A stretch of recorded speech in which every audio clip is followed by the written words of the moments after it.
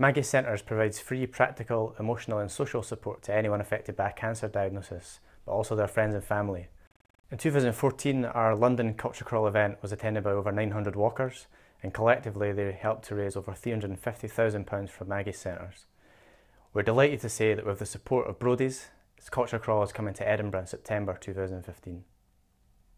Our walkers are in for quite a treat. The evening's going to be really exciting and inspirational with them gaining access to exclusive access to many of Edinburgh's most iconic buildings. The cultural content has been curated by Alexander McCall Smith, so you can expect lots of surprises along the way. We've been charity partner to Maggie's since 2012, but it's a relationship that goes back much further than that.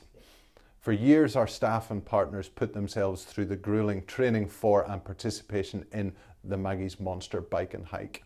It remained a focal point of our fundraising year, so when that came to an end, we wanted to work with Maggie's to create an alternative event, an event that encourages even more participation, raises even more money and even more awareness.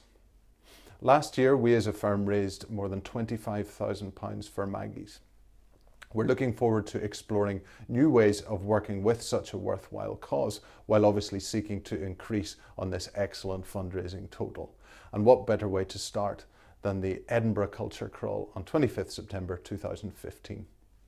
The funds that are raised through Culture Crawl Edinburgh will make a, a huge difference to, to families living across Scotland who are affected by cancer. It will also go towards helping Maggie's to continue to provide the vital service that it does to so many across Scotland. If you're interested in taking part in Culture Crawl Edinburgh, you can find out more by visiting our website and also all the Maggie's fundraisers will be on hand to support you with your fundraising ideas to help you to meet the minimum sponsorship amount of £100.